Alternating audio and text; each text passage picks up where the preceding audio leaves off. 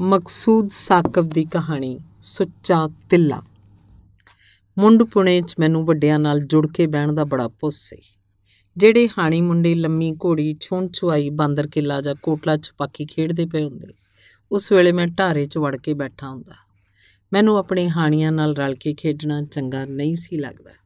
ਕਦੀ ਆਉਂਦਿਆਂ ਜਾਂਦਿਆਂ ਉਹਨਾਂ ਮੈਨੂੰ ਖੇਡਦਿਆਂ ਵੀ ਦਿਸ ਪੈਣਾ, ਤਾਂ ਰੌਲਾ ਪਾਉਂਦਿਆਂ ਵੇਖ ਕੇ ਮੇਰਾ ਮਨ ਕਾਲਾ ਪੈ ਜਾਂਦਾ ਤੇ ਮੈਂ ਛੇਤੀ ਨਾਲ ਉੱਥੋਂ ਟੁਰ ਪੈਂਦਾ। ਢਾਰੇ 'ਚ ਬਹਿਣ ਦਾ ਮੈਨੂੰ ਬੜਾ ਰਸ ਆਉਂਦਾ ਸੀ। ਵੱਡੇ ਵਡੇਰੇ ਗੱਲੀ ਜੁੱਟੇ ਹੁੰਦੇ, ਹੁੱਕੇ ਦੀ ਨਾਲ ਫਿਰਦੀ ਟੁਰੀ ਜਾਂਦੀ ਵਨ ਸਵਨੀਆਂ ਗੱਲਾਂ 'ਚ, ਲੌਆਂ ਦੇ ਲੌ ਇੰਜ ਉਸਰਦੇ ਲੱਗੇ ਆਉਂਦੇ, ਜਿਵੇਂ ਜਿਵੇਂ ਜਵਾਰ। ਇਧਰੋਂ ਇੱਕ ਲੌ ਵੱਢ ਕੇ ਹਟੋ, ਉਧਰੋਂ ਦੂਜਾ ਤਿਆਰ ਹੋਇਆ ਹੁੰਦਾ।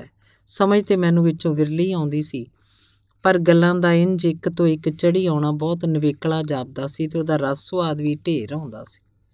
ਸੂਰਜ ਡੁੱਬਣ ਪਿੱਛੋਂ ਢਾਰੇ 'ਚ ਜਿੰਨੇ ਵੀ ਬੰਦੇ ਬਹਿੰਦੇ, ਬਾਬੇ ਹੁਕਮੇ ਦਾ ਨੰਬਰ ਸੀ। ਕਿਸੇ ਵੀ ਮੇਲ, ਕਿਸੇ ਵੀ ਵੰਨ ਦੀ ਗੱਲ ਛੇੜੀ ਹੁੰਦੀ। ਬਾਬਾ ਹੁਕਮਾ ਹੰਗੂਰਾ ਭਰਦਾ ਹੋਇਆ ਵਿੱਚ ਸਾਹ ਰਲਾਉਂਦਾ ਤਾਂ ਵੇਖਦਿਆਂ ਵੇਖਦਿਆਂ ਹੀ ਗੱਲ ਕਿਤੇ ਦੀ ਕਿਤੇ ਅੱਪੜ ਜਾਂਦੀ। ਇੰਜ ਹੀ ਹੁੰਦਾ ਜਿਵੇਂ ਤੱਟ ਕਰਕੇ ਗੱਲ ਨੂੰ ਚਾਰ ਚਾਨੀ ਲੱਗ ਜਾਂਦੇ। ਓੜਕ ਵਾਰੇ ਚੋਂ ਕੱਲਾ ਹੀ ਬੋਲਣ ਲੱਗ ਜਾਂਦਾ। ਹੋਰਨਾਂ ਸਭਨਾਂ ਦੇ ਮੂੰਹਾਂ ਨੂੰ ਤਾਂ ਜਿਵੇਂ ਜੰਦਰੇ ਵੱਜ ਜਾਂਦੇ। ਕੰਨਾਂ ਦੀਆਂ ਬਾਰੀਆਂ ਜ਼ਰੂਰ ਲੱਥ ਜਾਂਦੀਆਂ ਢਾਰੇ 'ਚ ਹਰ ਕੋਈ ਉਹਦੀ ਗੱਲ ਸੁਣਦਿਆਂ ਸਾਹ ਲੈਣਾ ਭੁੱਲ ਜਾਂਦਾ ਬਾਬਾ ਹੁਕਮਾਂ ਗੱਲ 'ਚ ਰਲਦਿਆਂ ਸਾਰ ਇੱਕ ਨੂੰ ਲਾਟੂ ਵਾਂਗ ਘੁਮਾ ਦਿੰਦਾ, ਫਿਰ ਗੱਲਾਂ ਦੇ ਲੌਚ 'ਚੋਂ ਨਿਖੇੜ ਕੇ ਕੱਢੀ ਹੋਈ ਗੱਲ ਉਹਦੇ ਮੂੰਹ ਇੰਜ ਵੱਧਦੀ ਟੁਰੀ ਜਾਂਦੀ, ਜਿਵੇਂ ਕੌੜੀ ਵੇਲ ਵੀ ਨਹੀਂ ਵੱਧਦੀ। ਸੁਣਦਿਆਂ ਸੁਣਦਿਆਂ ਉਹ ਕੌੜੀ ਵੇਲ ਪੂਰੇ ਆਲੇ ਦੁਆਲੇ ਨੂੰ ਕੱਜ ਲੈਂਦੀ। ਬਾਬੇ ਹੁਕਮੇ ਦੇ ਲਫ਼ਜ਼ਾਂ ਨਾਲ ਹੀ ਉਹਨੂੰ ਹੱਥ-ਹੱਥ ਜਿਹੜੇ ਚੌੜੇ ਪੱਤਰ ਲੱਗਦੇ ਤੇ ਫਿਰ ਜਦੋਂ ਉਹ ਵੇਲ ਸੂਏ ਸਾਵੇ ਤੇ ਨੀਲੇ ਫੁੱਲ ਕੱਢਦੀ ਤਾਂ ਢਾਰੇ 'ਚ ਬੈਠੇ। ਹਰ ਸੁਨੇਰ ਦੇ ਮੂੰਹ ਆਪ ਧਰਾਪ ਨਿਕਲ ਜਾਂਦਾ। ਵਾਹ ਬਾਬਾ ਹੁਕਮਿਆ ਨਹੀਂ ਰੀਸਾਂ ਬਾਬਾ ਤੇਰੀਆਂ। ਏਡੀਆਂ ਪੀੜੀਆਂ ਵਾਲੀ ਗੱਲ ਤੇਥੋਂ ਬਿਨਾ ਕੋਈ ਹੋਰ ਨਹੀਂ ਕਰ ਸਕਦਾ। ਸੱਚੀ ਪੁੱਛੋ ਤਾਂ ਮੈਂ ਢਾਰੇ ਵਿੱਚ ਵੱਡਿਆਂ ਨਾਲ ਘੁਸਰ ਕੇ ਬਹਿੰਦਾ ਸਾਂ। ਉਹਦਾ ਇੱਕੋ ਇੱਕ ਕਾਰਨ ਬਾਬਾ ਹੁਕਮਾਂ ਤੇ ਉਹਦੀ ਗੱਲਬਾਤ ਸੀ। ਉਹ ਆਪ ਵੀ ਮੇਰਾ ਬਹੁ ਉਚੇਚ ਕਰਦਾ ਸੀ। ਢਾਰੇ ਦੇ ਵੇਲੇ ਤੋਂ ਵਾਵਾ ਅਗਦੀ ਮੈਂ ਘਰੋਂ ਨਿਕਲ ਕੇ ਬਾਬੇ ਹੁਕਮੇ ਦੇ ਵਿਹੜੇ 'ਚ ਗੇੜਾ ਲਾ ਆਉਂਦਾ ਹੁੰਦਾ ਸਾਂ ਤੇ ਤਸੱਲੀ ਕਰਨ ਲਈ ਵੀ ਉਹ ਢਾਰੇ 'ਚ ਆਉਂਦਾ ਪਿਆ ਜਾਂ ਨਹੀਂ? ਸੁਣਾ ਫਿਰ ਬਿੱਲੂ, ਅੱਬੇ ਤੇਰੇ ਦਾ ਕੋਈ ਚਿੱਠੀ ਪੱਤਰ ਆਇਆ ਕਿ ਨਹੀਂ? ਉਹ ਮੇਰੇ ਨਾਲ ਹੋਰ ਗੱਲ ਕਰਨ ਤੋਂ ਪਹਿਲਾਂ ਰੋਜ਼ ਦਿਹਾੜੀ ਇਹ ਉਹ ਪੁੱਛਦਾ। ਰੋਜ਼ ਦਿਹਾੜੀ ਅੱਗੋਂ ਨੂੰ ਇਹ ਉਹ ਵਲਦਾ ਦਿੰਦਾ, ਆਹੋ ਬਾਬਾ, ਅੱਜ ਹੀ ਉਹਦੀ ਚਿੱਠੀ ਆਈ ਹੈ ਤੈਨੂੰ ਬੜੀ ਬੜੀ ਬੜੀ ਸਲਾਮ ਦੁਆ ਲਿਖੀ ਹੋਈ ਸੀ। ਤੇ ਮੇਰਾ ਵਾਲ, ਵਲਦਾ ਸੁਣ ਕੇ ਆਪਣੀਆਂ ਵੱਡੀਆਂ ਵੱਡੀਆਂ ਬੱਗੀਆਂ ਮੁੱਛਾਂ ਹੇਠੋਂ ਮੁਸਕਰਾਉਂਦਾ ਤੇ ਦਾੜੀ 'ਚ ਉਂਗਲਾਂ ਫੇਰਨ ਤੋਂ ਕਈ ਵਾਰੀ ਮੈਨੂੰ ਇੰਜ ਜਾਪਦਾ, ਉਹਨੂੰ ਪਤਾ ਹੋਵੇ ਭਈ ਦੂਰ ਪਰਦੇਸ ਗਿਆ ਬੰਦਾ, ਰੋਜ਼ ਕਿਵੇਂ ਚਿੱਠੀ ਲਿਖ ਸਕਦਾ ਤੇ ਉਹਦੀ ਲਿਖੀ ਚਿੱਠੀ ਰੋਜ਼ ਕਿਵੇਂ ਇੱਥੇ ਪੁੱਜ ਜਾਂਦੀ ਹੈ? ਮੈਂ ਇੱਕ ਦਿਹਾੜੇ ਉਹਨੂੰ ਇਸ ਤਰ੍ਹਾਂ ਪੁੱਛਿਆ, ਤੇ ਉਹ ਆਪਣੇ ਮੂੰਹੋਂ ਹੀ ਮੰਨ ਗਿਆ, ਉਹ ਬਿੱਲੂ ਪੁੱਤਰ, ਤੇਰਾ ਪਿਓ ਆਪਣਾ ਯਾਰ ਵੀ ਹੈ ਤੇ ਭਰਾ ਵੀ। ਮੈਂ ਜਦੋਂ ਤੁਹਾਡੀ ਜੂਏ ਆ ਕੇ ਵਸਾ, ਵਸਿਆ ਸੀ, ਉਹਨੇ ਮੇਰਾ ਇੰਨਾ ਸਾਥ ਦਿੱਤਾ ਸੀ ਜਿੰਨਾ ਕੋਈ ਕੂੜ ਮਾਰ ਲਵੇ। ਸੱਚੀ ਤੇ ਇਹੋ ਹੀ ਆ ਵੀ ਅੱਜ ਜਿਹੜਾ ਇੱਥੇ ਵਸਦਾ ਪਿਆ ਤੇਰੇ ਪਿਓ ਦੀ ਮਿਹਰਬਾਨੀ ਦਾ ਹੀ ਸਿੱਟਾ ਹੈ। ਹੁਣ ਉਹ ਚਾਰ ਵਲੈਤਾਂ ਪਾਰ ਬੈਠਾ ਹੋਇਆ ਤੇ ਜੇ ਅਸੀਂ ਚਿੱਠੀ ਪੱਤਰ ਦੇ ਪੱਜ ਉਹਦਾ ਹਾਲ ਚਾਲ ਵੀ ਨਾ ਪੁੱਛੀਏ ਤੇ ਸਾਡੇ ਤੋਂ ਅਗਲੀ ਗੱਲ ਕਿਵੇਂ ਹੋ ਸਕਦੀ ਹੈ? ਚਿੱਠੀ ਪੱਤਰ ਰਾਹੀਂ ਮੇਰੇ ਅੱਬੇ ਦਾ ਹਾਲ ਪੁੱਛਣ ਮਗਰੋਂ ਬਾਬਾ ਰੋਜ਼ ਦਿਹਾੜੀ ਇੱਕ ਹੋਰ ਗੱਲ ਵੀ ਕਰਦਾ ਹੁੰਦਾ ਸੀ। ਆਂਦਾ ਹੁੰਦਾ ਸੀ ਆ ਸੁੱਚਾ ਤਿੱਲਾ ਹੱਥ ਆ ਜਾਏ ਨਾ ਕਿਧਰੋਂ? ਫਿਰ ਮੈਂ ਤੇਰੇ ਪਿਓ ਨੂੰ ਇਹੋ ਜੀ ਬਾਂਕੀ ਤੇ ਫੁੱਲ ਤੋਂ ਹੌਲੀ ਜੁੱਤੀ ਸਿਉਂ ਕੇ ਘੱਲਾਂ ਕੇ ਪੈਰੀ ਪਾ ਕੇ ਕਿਤੇ ਬੰਨੇ ਨਿਕਲੇ ਤਾਂ ਮੇਮਾ ਉਹਦੇ ਪੈਰਾਂ ਵਾਲੀ ਬਿਟ-ਬਿਟ ਤੱਕਦੀਆਂ ਰਹਿ ਜਾਣ। ਪਰ ਉਹ ਸੁੱਚਾ ਤਿੱਲਾ ਜਦੋਂ ਕਦੇ ਆਉਂਦਾ ਸੀ, ਉਦੋਂ ਹਰ ਤਿੰਨੀ ਚੌ ਮਹੀਨੀ ਬੜੀ ਰੀਝ ਨਾਲ ਜਿੱਤੀ ਸਿਉਂ ਕੇ ਦੇਈਦੀ ਸੀ ਉਹਨੂੰ।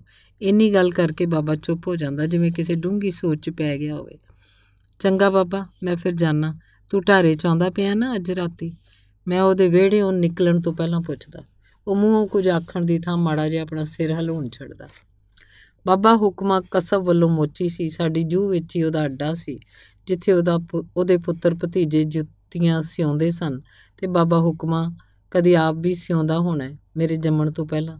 ਮੈਂ ਤਾਂ ਜਦੋਂ ਦੀ ਹੋਸ਼ ਸੰਭਾਲੀ ਉਹਨੂੰ ਧਾਗੇ ਨਾਲ ਮੋਮ ਲਾਉਣ ਤੋਂ ਤੇ ਵੱਟੀ ਤੇ ਰਸ਼ਤ ਰਿੱਖੀ ਕਰਨ ਤੋਂ, ਅੱਡ ਕੋਈ ਹੋਰ ਕੰਮ, ਕੋਈ ਹੋਰ ਕੰਮ ਕਰਦਿਆਂ ਕਦੇ ਨਹੀਂ ਸੀ ਵੇਖਿਆ। ਅੱਬਾ ਮੇਰਾ ਆਂਦਾ ਹੁੰਦਾ ਸੀ। ਬਾਬੇ ਹੁਕਮੇ ਤੋਂ ਵਧੀਆ ਜੁੱਤੀ ਸਿਉਣ ਵਾਲਾ ਸਾਡੇ ਇਲਾਕੇ 'ਚ ਨਾ ਕਦੇ ਹੋਇਆ, ਨਾ ਹੀ ਕਦੇ ਹੋਣਾ। ਵਰਿਆਂ ਤੋਂ ਕੰਮ ਛੱਡਿਆ ਹੋਇਆ ਸੂ ਪਰ ਜੇ ਹੁਣ ਵੀ ਕੰਮ ਤੇ ਬਹਿ ਜਾਏ ਆ ਮੁੰਡੇ ਤੇ ਉਹਦੀ ਧੂੜ ਨੂੰ ਵੀ ਨਾ ਪੜ ਸਕਣ। ਐਵੇਂ ਤੇ ਨਹੀਂ ਨਾ ਆਂਦੇ ਬੱਲੇ ਬੱਲੇ, ਫਲਾਣਿਆ ਤੂੰ ਤਾਂ ਇੰਜ ਟੁਰਨਾ ਜਿਵੇਂ ਹੁਕਮੇ ਦੇ ਖੱਲੇ ਪਾਏ ਹੋਏ ਹੋਣ। ਕੰਮ ਦਾ ਮੈਂ ਦੱਸਿਆ ਨਾ ਵੀ ਬਾਬੇ ਹੁਕਮੇ ਦੇ ਪੁੱਤਰ ਭਤਰੀਏ ਕਰਦੇ ਸੀ, ਪਰ ਜਿੱਥੋਂ ਤਾਈ ਨਾਂ ਦੀ ਗੱਲ ਏ, ਉਹ ਬਾਬੇ ਹੁਕਮੇ ਦਾ ਹੀ ਵੱਜਦਾ ਸੀ। ਜਿੱਥੋਂ ਤਾਈ ਨਾਂ ਦੀ ਗੱਲ ਏ, ਉਹ ਬਾਬੇ ਹੁਕਮੇ ਦਾ ਹੀ ਵੱਜਦਾ ਸੀ। ਉਹਦੇ ਨਾਂ ਪਿੱਛੇ ਹੀ ਦੁਨੀਆ ਦੂਰੋਂ ਦੂਰੋਂ ਜੁੱਤੀਆਂ ਸਵਾਉਣ ਲਈ ਸਾਡੇ ਜੂਏ ਆਉਂਦੀ ਸੀ। ਅੱਗੋਂ ਥੋੜਾ ਕੀਤਿਆਂ ਸਾਈ ਬਿਆਨਾ ਨਹੀਂ ਸਨ ਫੜਦੇ। ਜੇ ਫੜਦੇ ਸਨ ਤਾਂ ਤਿੰਨਾਂ ਤਿੰਨਾਂ ਚੌਂ ਚੌਂ ਮਹੀਨਿਆਂ ਤੋਂ ਪਹਿਲਾਂ ਦਾ ਕਾਰਾ ਨਹੀਂ ਸੀ ਕਰਦੇ। ਤੇ ਜੇ ਚੋਖਾ ਹੀ ਕਾਲਾ ਹੁੰਦਾ ਤੇ ਉਹਨੂੰ ਸਾਫ਼ ਚਿੱਟੇ ਲਫ਼ਜ਼ਾਂ 'ਚ ਨਾ ਕਰ ਛੱਡਦੇ। ਮੀਆਂ ਜੀ, ਅਸਾਂ ਕਾਲੀ ਦਾ ਤੇ ਕੰਮ ਹੀ ਨਹੀਂ ਕੀਤਾ ਕਦੀ। ਤੁਸੀਂ ਕਿਤੋਂ ਹੋਰ ਧੁਰਿਓ ਸਵਾਲ ਸਾਥੋਂ ਸਿਵਾਣੀ ਜੇ ਤੇ ਸਬਰ ਨਾਲ ਸਵਾਵਾਂਗੇ ਓੜਕ ਅਗਲੇ ਨੂੰ ਉਹਨਾਂ ਦੀ ਮੰਨਣੀ ਪੈਂਦੀ। ਮੈਨੂੰ ਬੜੀ ਰੀਝ ਸੀ ਬਾਬੇ ਹੁਕਮੇ ਨੂੰ ਕੰਮ ਕਰਦਿਆਂ ਵੇਖਣ ਦੀ। ਇਹ ਰੀਝ ਮੇਰੇ ਮਨ 'ਚ ਉਹਦੀਆਂ ਗੱਲਾਂ ਸੁਣ ਸੁਣ ਕੇ ਹੀ ਜਾਗੀ ਸੀ। ਮੈਂ ਸੋਚਦਾ ਸਾਂ ਵੀ ਉਹ ਢਾਰੇ 'ਚ ਬੈਠਾ ਏਡੇ ਰਸ ਨਾਲ ਜਿਹੜੀਆਂ ਗੱਲਾਂ ਕਰ ਲੈਂਦਾ ਹੈ, ਇਹਦੇ ਪਿੱਛੇ ਜ਼ਰੂਰ ਉਹਦੀ ਕਸਬ ਕਲਾ ਦਾ ਹੱਥ ਹੈ ਪਰ ਇਹ ਰੀਝ ਜਦੋਂ ਵੀ ਮੇਰੇ ਮਨ 'ਚ ਜਾਗਦੀ ਤਾਂ ਮੈਨੂੰ ਉਹਦੀ ਆ ਸੁੱਚਾ ਤਿੱਲਾ ਲੱਭ ਪਵੇ ਨਾ ਕਦੀ ਵਾਲੀ ਗੱਲ ਚੇਤੇ ਆ ਜਾਂਦੀ ਤੇ ਮੈਂ ਸੋਚਦਾ ਕਿ ਇਹ ਸੁੱਚਾ ਤਿੱਲਾ ਸਾਡੇ ਦੇਸ਼ 'ਚ ਨਹੀਂ ਹੁੰਦਾ। ਜੇ ਕਦੀ ਮੈਨੂੰ ਇਹਦੀ ਦੱਸ ਪੈ ਜਾਏ ਤਾਂ ਮੈਂ ਆਪ ਮੁੱਲ ਤਾਰ ਕੇ ਬਾਬੇ ਨੂੰ ਲਿਆ ਦੇਵਾਂ। ਤੇ ਫਿਰ ਆਖਾਂ, ਲੈ ਬਾਬਾ, ਇਹੋ ਹੀ ਆ ਸੁੱਚਾ ਤਿੱਲਾ ਜਿਹਨੂੰ ਚੇਤੇ ਕਰਦਾ ਹੁੰਦਾ ਸਾਂ। ਲੈ ਆਇਆ। ਹੁਣ ਤੂੰ ਅੱਡੇ ਤੇ ਬਹਿ ਕੇ ਮੇਰੇ ਪਿਓ ਦੀ ਜੁੱਤੀ ਸਿਉ ਤੇ ਮੈਂ ਤੈਨੂੰ ਕੰਮ ਕਰਦੇ ਨੂੰ ਵੀ ਵੇਖਾਂ ਤੇ ਭਲਾ ਕਿਵੇਂ ਕਰਦਾ ਪਰ ਬੜੀ ਸਾਫ਼ ਗੱਲ ਹੈ ਕਿ ਸੁੱਚਾ ਤਿੱਲਾ ਜੀ ਦੀ ਗੱਲ ਬਾਬਾ ਹੁਕਮਾਂ ਬੜੇ ਹਰਖ ਨਾਲ ਕਰਦਾ ਸੀ, ਉਹਦੀ ਦੱਸ ਮੈਨੂੰ ਨਵੇਂ ਛੋਰ ਨੂੰ ਕਿੱਥੋਂ ਪੈਣੀ ਸੀ? ਮੈਂ ਤੇ ਬਾਬਾ ਹੁਕਮਾਂ ਦੋਵੇਂ ਢਾਰੇ 'ਚ ਉੱਠ ਕੇ ਰਾਤ ਨੂੰ ਇਕੱਠੇ ਹੀ ਘਰਾਂ ਨੂੰ ਪਰਤਦੇ ਹੁੰਦੇ ਸਾਂ। ਤੇ ਮੈਂ ਰੋਜ਼ ਨਿਸ਼ਚਾ ਧਾਰਦਾ ਵੀ ਅੱਜ ਰਾਤੀ ਬਾਬੇ ਨੂੰ ਸੁੱਚੇ ਤਿੱਲੇ ਬਾਰੇ ਸਰਖਰ ਪੁੱਛਣਾ ਹੈ।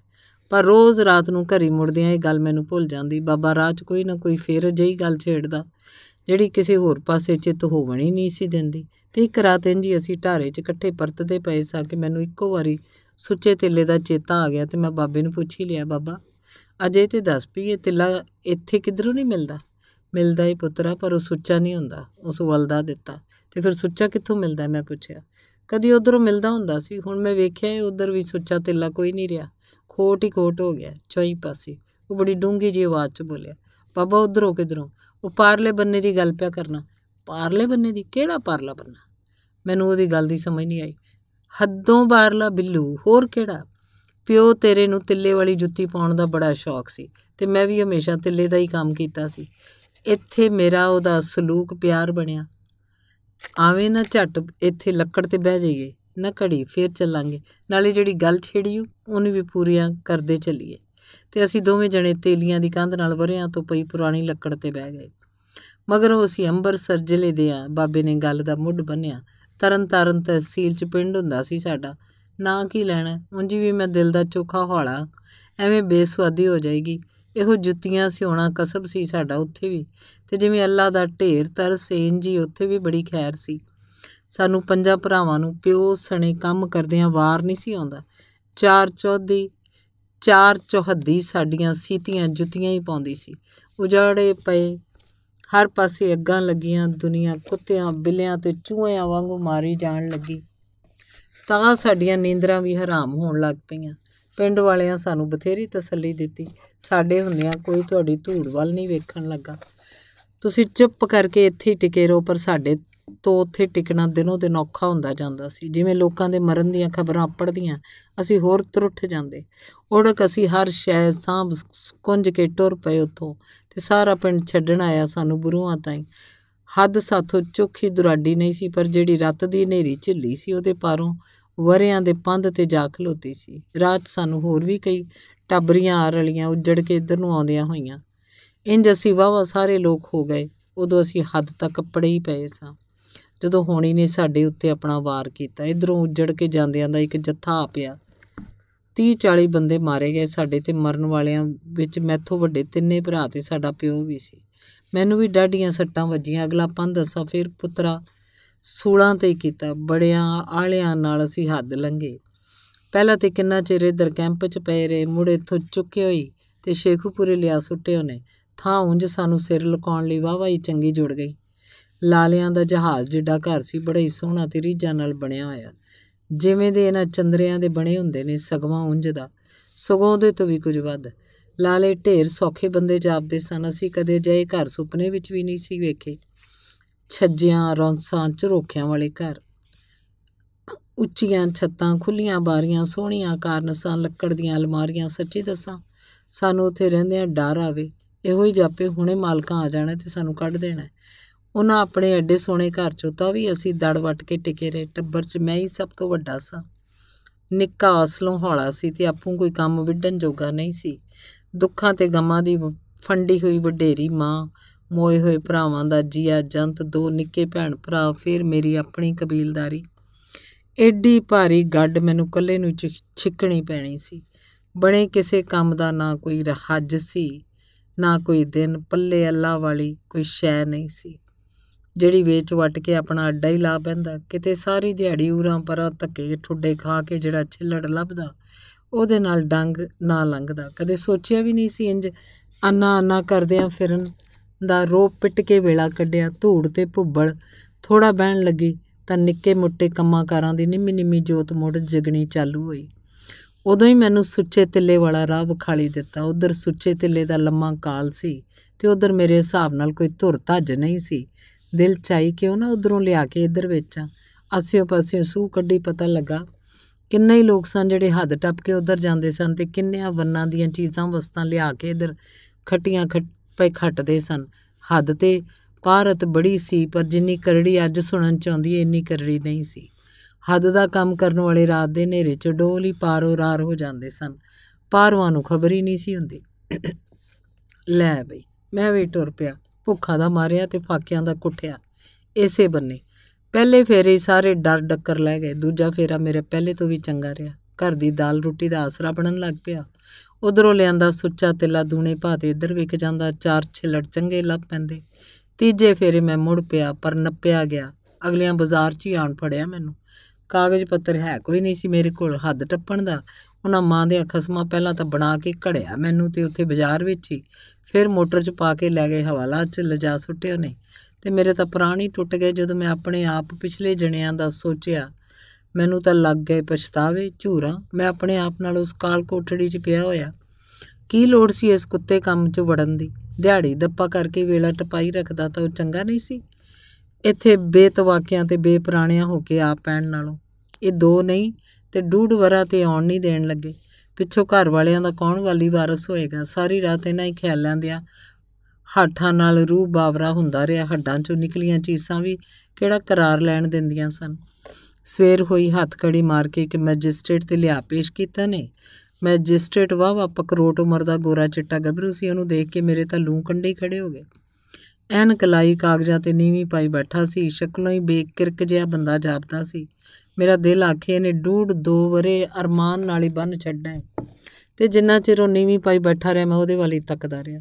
ਫਿਰ ਉਹਨੇ ਕਾਗਜ਼ਾਂ ਤੇ ਨਿਗਾਹ ਚਾਈ, ਮੇਰੇ ਵੱਲ ਡਿੱਠਾ, ਨਾਲ ਹੀ ਬੈਠੇ ਬੈਠੇ ਇੱਕ ਅਦਾਲਤੀ ਕਰਿੰਦੇ ਨੂੰ ਕੁਝ ਪੁੱਛਿਆ, ਉਹ ਤੇ ਫਿਰ ਸਾਵਾ ਮੇਰੇ ਵੱਲ ਵੇਖਦਾ ਬੋਲਿਆ, ਹਾਂ ਬਈ, ਤੂੰ ਬਾਰਡਰ ਟੱਪ ਕੇ ਆਇਆ ਹੈ ਮੈਂ ਅੱਗੋਂ ਕੰਮ ਦੀ ਆਵਾਜ਼ ਚ ਆਖਿਆ ਸਾਹਿਬ ਬਹਾਦਰ ਆਇਆ ਤੇ ਮੈਂ ਬਾਰਡਰ ਟੱਪ ਗਈ ਆ। ਇਹਦੇ 'ਚ ਜ਼ਰਾ ਸ਼ੱਕ ਨਹੀਂ, ਪਰ ਆਇਆ ਭੁੱਖ ਦਾ ਮਾਰਿਆ।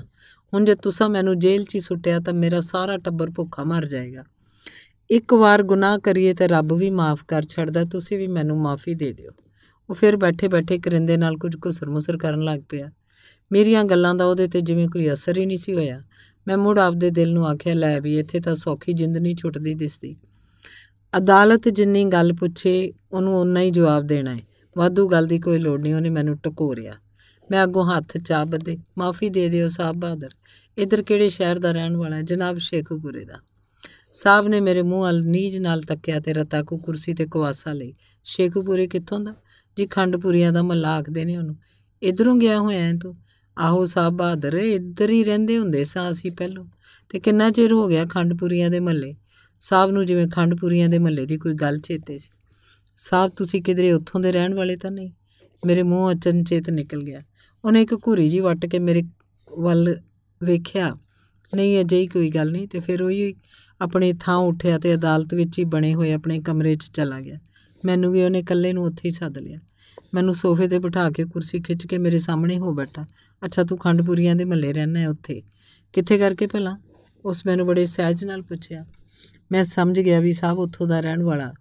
ਨਹੀਂ ਤਾਂ ਫਿਰ ਉੱਥੇ ਗਿਆ ਆਇਆ ਜ਼ਰੂਰ ਹੋਇਆ ਜੇ। ਤੇ ਹੁਣ ਉਹ ਯਾਦਾਂ ਘੇਰੀ ਬੈਠੀਆਂ ਨੇ ਇਹਨੂੰ। ਲਾਲਿਆਂ ਦੇ ਨਾਂ ਤੇ ਵੱਜਦੀ ਉਹ ਗਲੀ। ਲਾਲਿਆਂ ਦੀ ਗਲੀ ਕਰਕੇ ਮੈਂ ਉਹਨੂੰ ਦੱਸਿਆ। ਤੇ ਤੂੰ ਖੰਡਪੁਰੀਆਂ ਦੇ ਮਹੱਲੇ ਲਾਲਿਆਂ ਦੀ ਗਲੀ 'ਚ ਰਹਿਣਾ ਹੈ ਉਹਦੇ ਉੱਤੇ ਕੁਝ ਹੋਰ ਵੀ ਜਿਹੀ ਪਰਤਣ ਲੱਗ ਪਈ। ਘਰ ਦਾ ਪਤਾ ਦੱਸ ਖਾਂ ਭਲਾ ਜਿਹਦੇ 'ਚ ਤੂੰ ਬੈਠਾ ਹੋਇਆ ਹੈ, ਉਹ ਤਾਵਲਾ ਜਿਹਾ ਹੋ ਗਿਆ। ਲਾਲਿਆਂ ਦਾ ਘਰ ਹੀ ਸੁਣਨ 'ਚ ਆਉਂਦਾ ਹੈ, ਉਹ ਮੈਂ ਆਖਿਆ, ਉਹਨੂੰ ਤਾਂ ਜਿਵੇਂ ਸੱਚੀ ਮੁੱਚੀ ਕਰੰਟ ਜਾ ਲੱਗਾ ਹੋਵੇ ਮੇਰੀ ਗੱਲ ਨਾਲ। ਕੁਰਸੀ ਪਛਾਂ ਰੇੜ ਕੇ ਹੇਠਾਂ ਗਲੀਚੇ ਤੇ ਮੇਰੇ ਪੈਰਾਂ ਕੋਲ ਹੋ ਬੈਠਾ। ਬਿੱਟ ਬਿੱਟ ਮੇਰਾ ਮੂੰਹ ਤੱਕਣ ਲੱਗ ਪਿਆ ਸਮਝ ਤਾਂ ਅੱਗੋਂ ਵੀ ਮੈਨੂੰ ਕਿਸੇ ਗੱਲ ਦੀ ਨਹੀਂ ਸੀ ਆਉਂਦੀ ਪਈ। ਹੁਣ ਤੇ ਉੱਕਾ ਮੇਰੇ ਪ੍ਰਾਣ ਗਵਾਚ ਗਏ ਕਿ ਉਹ ਮੁਨਸਫ ਹੋ ਕੇ ਇੱਕ ਮੁਲਜ਼ਮ ਦੇ ਪੈਰਾਂ ਕੋਲ ਬੈਠਾ ਸੀ। ਇੱਕ ਐਸੇ ਮੁਲਜ਼ਮ ਦੇ ਪੈਰਾਂ ਕੋਲ ਜਿਹੜੇ ਆਪੂ ਝੋਲੀ ਅੱਡ ਕੇ ਉਹਦੇ ਕੋਲੋਂ ਮਿਹਰ ਪਿਆ ਮੰਗਦਾ ਸੀ ਤੇ ਮੈਂ ਉਹਨੂੰ ਹੱਥ ਬੰਨੇ, ਉਹ ਤਾਂ ਕੁਰਸੀ ਤੇ ਹੋ ਕੇ ਬਹਿਣ ਦਾ ਤਰਲਾ ਕੀਤਾ, ਪਰ ਉਹ ਕੋਈ ਨਹੀਂ ਮੰਨਿਆ। ਮੈਂ ਆਪ ਥੱਲੇ ਉਹਦੇ ਕੋਲ ਹੋ ਬਹਿਣਾ ਚਾਹਿਆ ਤਾਂ ਉਹਨੇ ਮੈਨੂੰ ਸੋਫਿਓਂ ਥੱਲੇ ਨਾ ਲੱਥਣ ਦਿੱਤਾ। ਮੈਂ ਆਖਿਆ ਸਾਹਿਬ ਕੋਈ ਵੇਖ ਲਵੇ ਤਾਂ ਕੀ ਆਖੇ? ਤੂੰ ਛੱਡ ਇਸ ਗੱਲ ਨੂੰ। ਤੂੰ ਮੈਨੂੰ ਇਹ ਦੱਸ, ਬਰੀ ਹੋਣਾ ਕਿ ਜੇਲ੍ਹ ਜਾਣਾ ਉਹ ਮੇਰੀਆਂ ਅੱਖਾਂ ਝਾਕਦਾ ਬੋਲਿਆ ਸਾਹਿਬ ਬਰੀ ਕਰ ਦਿਓ ਤਾਂ ਤੇਰੇ ਜਿਹਾ ਇੱਕ ਨਹੀਂ ਦੁਨੀਆ ਤੇ। ਮੈਂ ਤੇਰੇ ਨਾਲ ਕਾਰਾ ਕਰਨਾ, ਮੁੜ ਇੰਜ ਹੱਦ ਟੱਪ ਕੇ ਨਾ ਆਵਾਂਗਾ ਕਦੀ ਇਸ ਬੰਨੇ। ਮੈਂ ਤੈਨੂੰ ਬਰੀ ਕਰ ਦੇਣਾ, ਪਰ ਪਹਿਲੇ ਮੈਨੂੰ ਇੱਕ ਸ਼ਰਤ ਮੰਨਣੀ ਪੈਸੀ ਦੱਸ ਮੰਨੇਗਾ? ਬੱਚਿਆਂ ਵਾਲਿਆ, ਤੂੰ ਇੱਕ ਅੰਨ ਹੈ ਮੈਂ ਤੇਰੀਆਂ 10 ਸ਼ਰਤਾਂ ਮੰਨਣ ਨੂੰ ਤਿਆਰ ਹਾਂ ਸ਼ਰਤ ਇਹ ਵੀ ਤੂੰ ਮੈਨੂੰ ਉਸ ਲਾਲਿਆਂ ਵਾਲੇ ਘਰ ਬਾਰੇ ਦੱਸ, ਉੱਥੇ ਕੀ ਕੀ ਹੈ ਮੈਂ ਕਿਵੇਂ ਕਿਵੇਂ ਦਾ ਬਣਿਆ ਹੋਇਆ ਹੈ ਮੈਂ ਤੈਨੂੰ ਛੱਡ ਦਵਾਂਗਾ, ਉਹ ਹਾੜਾ ਪਾਂਦਾ ਬੋਲਿਆ। ਪਹਿਲਾਂ ਤਾਂ ਮੈਨੂੰ ਲੱਗਾ ਇਹ ਸ਼ਰਤ ਪੂਰੀ ਕਰਨਾ ਮੇਰੇ ਜੈਸੇ ਗਲਾਦੜੀ ਬੰਦੇ ਲਈ ਕਿਹੜੀ ਔਖੀ ਗੱਲ ਹੈ ਪਰ ਜਦੋਂ ਮੈਂ ਸ਼ੁਰੂ ਹੋਣ ਲੱਗਾ ਤਾਂ ਮੈਨੂੰ ਕੁਝ ਚੇਤੇ ਹੀ ਨਾ ਆਵੇ। ਬੜਿਆਂ ਔਖਿਆਂ ਸੌਖਿਆਂ ਹੋ ਕੇ ਮੈਂ ਅੜਦਿਆਂ ਅੜਦਿਆਂ ਬੋਲਣਾ ਸ਼ੁਰੂ ਕੀਤਾ। ਬਾਹਰੋਂ ਗਲੀ ਤੋਂ ਸ਼ੁਰੂ ਹੋਇਆ ਮੈਂ ਥੜੀ ਦੱਸੀ ਬੂਆ ਦੱਸਿਆ ਬੂਏ ਦੇ ਉਤਲੀ ਮਹਿਰਾਬ 'ਚ ਸੱਜੀ ਖੱਬੀ ਨੁਕਰੇ, ਸੁੰਡਾਂ ਚਾਈ, ਪਿਛਲੀਆਂ ਪੈਰਾਂ ਤੇ ਖਲੋਤੇ, ਹਾਥੀਆਂ ਦੀਆਂ ਚਾਂਦੀ ਰੰਗੀਆਂ ਮੂਰਤੀਆਂ ਦਸੀਆਂ। ਪੇਰ ਅੰਦਰ ਵਿਹੜੇ 'ਚ ਫੁੱਲਾਂ ਦੀਆਂ ਕਿਆਰੀਆਂ ਤੋਂ ਤੁਰਦਾ ਚੌਂਕੇ ਵੱਲ ਆਇਆ, ਦਿਮਾਗ ਤੇ ਜ਼ੋਰ ਪਾ ਕੇ ਜੋ ਮੈਨੂੰ ਚੇਤੇ ਆਇਆ, ਮੈਂ ਉਹਨੂੰ ਦੱਸਿਆ। ਉਹ ਨੀਵੀਂ ਪਾਈ ਮੇਰੀਆਂ ਗੱਲਾਂ ਸੁਣਦਾ ਪਿਆ ਸੀ। ਅਸਲੋਂ ਅਡੋਲ ਹੋਇਆ ਬੈਠਾ, ਮੈਨੂੰ ਸਾਹ ਲੈਂਦਾ ਵੀ ਨਹੀਂ ਸੀ ਜਾਪਦਾ। ਮੈਂ ਚੌਂਕੇ ਤੋਂ ਨਿਕਲ ਕੇ ਹੁਣ ਘਰ ਦੇ ਪਸਾਰ ਵੱਲ ਵਧਿਆ, ਜਿਹਦੇ 'ਚ ਟਿਕੇ ਹੋਏ ਸਾਂ। ਪਸਾਰ ਦੀਆਂ ਜਿੰਨੀਆਂ ਚੀਜ਼ਾਂ ਚੇਤੇ ਆਈਆਂ ਮੈਂ ਦਸੀਆਂ, ਪਰ ਜਦੋਂ ਮੈਂ ਹਾਲ ਕਮਰੇ 'ਚ ਵੜਨ ਲੱਗਾ, ਤਾਂ ਮੈਨੂੰ ਚੇਤਾ ਆਇਆ ਵੀ ਪਸਾਰ ਦੀ ਇੱਕ ਥਾਂ ਬਾਬਤ ਮੈਂ ਭੁੱਲ ਹੀ ਗਿਆ ਸੀ। ਹਾਲ ਕਮਰੇ 'ਚ ਵੜਦਾ ਵੜਦਾ ਪਰਤ ਆਇਆ। ਪਸਾਰ ਦੀ ਇੱਕ ਥਾਂ ਦਾ ਦੱਸਣਾ ਮੈਨੂੰ ਚੇਤੇ ਨਹੀਂ ਰਿਹਾ ਏ। ਇਹ ਸੱਜੀ ਕੰਧ 'ਚ ਬਣਿਆ ਹੋਇਆ ਇੱਕ ਕਾਲਾ ਹੈ ਬੜਾ ਹੀ ਸੋਹਣਾ। ਇੰਨਾ ਸੋਹਣਾ ਕਿ ਵੇਖਿਆ ਭੁੱਖ ਲੈਂਦੀ ਏ। ਇਹਨੂੰ ਤੇ ਇਹਦੇ ਕੰਢਿਆਂ ਉੱਤੇ ਜਿਹੜੇ ਵੇਲ ਬੂਟੇ ਨਕਸ਼ੇ ਹੋਏ ਨੇ, ਉਹਦਾ, ਉਹਨਾਂ ਦੀ ਤੇ ਸ਼ੋਭਾ ਮੈਂ ਕਰ ਹੀ ਨਹੀਂ ਸਕਦਾ। ਅਜੇ ਗੱਲ ਮੇਰੇ ਮੂੰਹ 'ਚ ਹੀ ਸੀ ਕਿ ਉਹਦਾ ਗਲੀਚੇ ਤੇ ਬੈਠੇ ਦਾ ਉੱਚੀ ਸਾਰੀ ਰੋਣ ਨਿਕਲ ਗਿਆ। ਉਹ ਮੇਰੇ ਗੋਡਿਆਂ ਤੇ ਸਿਰ ਰੱਖ ਕੇ ਉੱਚੀ ਉੱਚੀ ਹਟਕੋਰੇ ਪਰਦਾ ਬਾਲਾਂ ਵਾਂਗੂ ਰੋਂਦਾ ਪਿਆ ਸੀ। ਮੇਰਾ ਸਾਰਾ ਵਜੂਦ ਇੱਕ ਅਵੱਲੀ ਜੀ ਪੀੜ ਨਾਲ ਭਰਿਆ ਗਿਆ ਕਿ ਮੇਰੀਆਂ ਆਪਣੀਆਂ ਅੱਖਾਂ ਸਿੰਜੀਆਂ ਗਈਆਂ। ਰੋਂਦਿਆਂ ਰੋਂਦਿਆਂ ਉਸ ਇੰਨਾ ਹੀ ਆਖਿਆ, ਉਸ ਆਲੇ 'ਚ ਹੀ ਤਾਂ ਮੈਂ ਨਿੱਕਾ ਹੁੰਦਾ, ਆਪਣਾ ਬਸਤਾ ਰੱਖਦਾ ਹੁੰਦਾ ਸਾਂ। ਮੇਰਾ ਆਪਣਾ ਹੌਕਾ ਨਿਕਲ ਗਿਆ। ਇਹ ਸੁਣ ਕੇ ਮੈਂ ਉਹਦੇ ਸਿਰ ਨੂੰ ਪਲੋਸਦਾ ਹੋਇਆ, ਇਹ ਵੀ ਭੁੱਲ ਗਿਆ ਕਿ ਮੈਂ ਮੁਲਜ਼ਮ ਆ ਤੇ ਮੁਨਸਬ। ਸਗੋਂ ਉਹਨੂੰ ਮੈਂ ਆਂਦਾ ਪਿਆ, ਸਾ ਸਾਹਬ ਜੇਰਾ ਰੱਖ।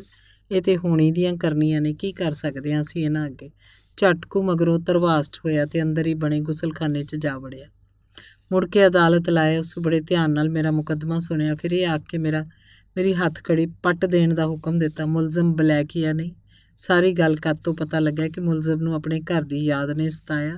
ਤੇ ਉਹ ਪੰਧ ਮਾਰ ਕੇ ਹੱਦ ਤਾਈਂ ਅੱਪੜ ਗਿਆ। ਉਹਦਾ ਪਿੰਡ ਨਾਲ ਲੱਗਦੇ ਇਲਾਕੇ 'ਚ ਇਸ ਲਈ ਮੁਲਜ਼ਮ ਦਾ ਆਪਣੇ ਦਿਲ ਉਤੇ ਵਸ ਨਾ ਰਿਹਾ ਤੇ ਹੱਦ ਟੱਪ ਕੇ ਉਰਲੇ ਬੰਨੇ ਆ ਗਿਆ।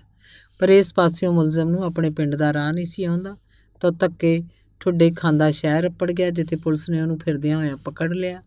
ਮੁਲਜ਼ਮ ਤੋਂ ਕੋਈ ਸ਼ੈ ਬਰਾਮਦ ਨਹੀਂ ਹੋਈ, ਨਾ ਹੀ ਕੋਈ ਸ਼ੈ ਲੱਭੀ ਹੈ ਜਿਹਦੇ ਤੋਂ ਸਾਬਤ ਹੋ ਸਕੇ ਵੀ ਉਹ ਉਚੇਚੇ ਇਰਾਦੇ ਨਾਲ ਹੱਦ ਟੱਪਣ ਦਾ ਗੁਨਾਹਗਾਰ ਹੈ ਇਸ ਪਾਰੋਂ ਅਦਾਲਤ ਉਹਨੂੰ ਇੱਜ਼ਤ ਆਬਰੂ ਨਾਲ ਬਰੀ ਕਰਦੀ ਹੈ ਬਰੀ ਕਰਕੇ ਮੈਨੂੰ ਆਪਣੇ ਘਰ ਲੈ ਆਇਆ, ਆਪਣੀ ਘਰਵਾਲੀ ਨਾਲ ਮੈਨੂੰ ਮਲਵਾਇਆ ਉਸੂ ਉਹਨੂੰ ਆਖਣ ਲੱਗਾ, ਵੇਖ ਕੁਸ਼ਲਿਆ, ਅੱਜ ਸਾਡੇ ਸ਼ੇਖੂਪੁਰ ਵਾਲੇ ਘਰ ਦੀ ਖੁਸ਼ਬੂ ਹੀ ਆਪ ਟੁਰ ਕੇ ਆ ਗਈ ਉਹ ਸਾਡੇ ਤਾਈ। ਇਹ ਸੁਣ ਕੇ ਉਹਦੀ ਘਰਵਾਲੀ ਚਾਹ ਨਾਲ ਭਰ ਗਈ ਤੇ ਵੀਰ ਜੀ ਵੀਰ ਜੀ ਆਂਦੀ ਦਾ ਮੂੰਹ ਸੁੱਕਣ ਲੱਗ ਪਿਆ। ਮੈਂ ਉਹਨਾਂ ਦੇ ਘਰ ਬਿੱਲੂ ਪੁੱਤਰ ਦੋ ਕੇ ਤਿੰਨ ਦਿਨ ਰਿਹਾ ਇਹਨਾਂ ਦਿਨਾਂ 'ਚ, ਉਹਨਾਂ ਮੇਰੀਆਂ ਉਹ ਖਾਤਰਾਂ ਕੀਤੀਆਂ ਵੀ ਤੈਨੂੰ ਕੀ ਦੱਸਾਂ? ਮੈਂ ਜਿੱਥੇ ਪੈਰ ਧਰਦਾ, ਉੱਥੇ ਉਗਾਈ ਹੱਥਾਂ ਦੀਆਂ ਤਲੀਆਂ ਜਾ ਵਿਛਾਉਂਦੇ। ਇੰਨਾ ਪਿਆਰ ਕਿ ਮੈਨੂੰ ਉਹਨਾਂ ਤੋਂ ਸੰਗ ਆਵੇ, ਰਹਿ ਰਹਿ ਕੇ ਦਿਲ 'ਚ। ਇਹ ਸੋਚ ਉਭਰੇ ਵੀ ਇਹਨਾਂ ਦੇ ਪਿਆਰ ਦਾ ਵਲਦਾ ਦੇਣ ਲਈ ਰੱਬ ਕਰਦਾ ਮੇਰੇ ਕੋਲ ਕੋਈ ਸ਼ੈ ਹੁੰਦੀ। ਉਹ ਮੇਰੇ ਨਾਲ ਘੰਟਿਆਂ ਬੱਧੀ ਆਪਣੇ ਪਿਛਲੇ ਘਰ ਦੀਆਂ ਗੱਲਾਂ ਕਰਦਾ ਰਹਿੰਦਾ। ਉਹਨੂੰ ਆਪਣੇ ਘਰ ਦੀ ਇੱਕ ਇੱਕ ਸ਼ੈ ਇੰਜ ਚੇਤੇ ਸੀ ਵੀ ਮੈਂ ਵੀ ਹੈਰਾਨ ਰਹਿ ਜਾਂਦਾ, ਫਲਾਣੀ ਥਾਂ ਕਲੀ ਭੁਰੀ ਹੋਈ ਏ, ਫਲਾਣੇ ਬੂਹੇ ਤੇ ਨਕਸ਼ ਬਣੇ ਹੋਏ ਨੇ, ਉਹ ਕੋਈ ਗੱਲ ਹੀ ਨਹੀਂ ਸੀ ਰਹਿਣ ਦਿੰਦਾ। ਮੈਂ ਇਸ ਘਰ 'ਚ ਰਹਿੰਦਾ ਪਿਆ ਸਾਂ, ਪਰ ਮੈਨੂੰ ਉਹਨਾਂ ਗੱਲਾਂ ਦਾ ਕੁਝ ਪਤਾ ਨਹੀਂ ਸੀ, ਜਿਹੜੀਆਂ ਉਹ ਪੂਰੇ ਵੇਰਵੇ ਨਾਲ ਦੱਸਦਾ ਰਹਿੰਦਾ। ਉਹਨੇ ਆਪ ਹੀ ਨਸ ਭੱਜ ਕੇ ਮੇਰੇ ਕਾਗਜ਼ ਬਣਵਾਏ, ਬਾਜ਼ਾਰ 'ਚੋਂ ਸਾਡੇ ਪੂਰੇ ਟੱਬਰ ਲਈ ਇੰਨੀਆਂ ਕੁ ਸ਼ੈਆਂ ਮੁੱਲ ਲੈ ਦਿੱਤੀਆਂ ਕਿ ਵੱਡਾ ਸਾਰਾ ਇੱਕ ਸੰਦੂਕ ਭਰ ਗਿਆ। ਫਿਰ ਉਹ ਦੋਵੇਂ ਜੀ ਮੈਨੂੰ ਆਪਣੀ ਮੋਟਰ ਤੇ ਹੱਦ ਪਾਰ ਕਰਾਉਣ ਆਏ। ਵਿਛੜਨ ਤੋਂ ਪਹਿਲਾਂ ਅਸੀਂ ਗਲਵੱਕੜੀ ਪਾ ਕੇ ਇੰਜ ਧਾਈ ਮਾਰ-ਮਾਰ ਰੋਏ। ਜਿਵੇਂ ਅਸਲੋਂ ਸਕੇ ਹੋਈਏ, ਸਗੋਂ ਸਕਿਆਂ ਤੋਂ ਵੀ ਵੱਧ। ਛੇਕੜਲੀ ਵਾਰ ਮਿਲਦਿਆਂ ਮੈਨੂੰ ਆਖਣ ਲੱਗਾ ਇੱਕ ਕੰਮ ਕਰੀ। ਪਿਛਲੀ ਨਿੱਕੀ ਕੋਠੜੀ 'ਚ ਮਾਂ ਨੂੰ ਆਖੀ, ਹਰ ਜੁਮਾ ਰਾਤ ਦੀਵਾ ਜ਼ਰੂਰ ਜਗਾਇਆ ਕਰੇ। ਮੇਰੀ ਮਾਂ ਉੱਥੇ ਤੁਹਾਡੇ ਕਿਸੇ ਫਕੀਰ ਦੇ ਨਾਂ ਦੀਵਾ ਜਗਾਇਆ ਕਰਦੀ ਸੀ।